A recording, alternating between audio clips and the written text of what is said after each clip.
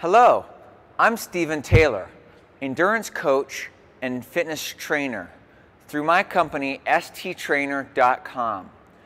I'm here to teach you how to swim with fins. The materials you will need for this include a pair of swim fins that fit your feet correctly. Swim fins come in various lengths ranging from long to medium to short.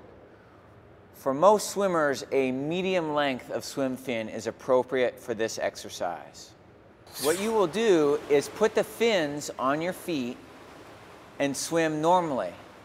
It's easy to over rely on the fins by kicking excessively hard. The thing to do is to attempt to keep normal, correct kicking technique, which involves keeping your knees mostly straight and kicking from the hips.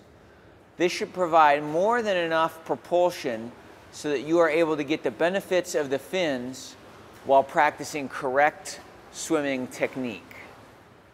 In conclusion, swimming with fins is an excellent training tool.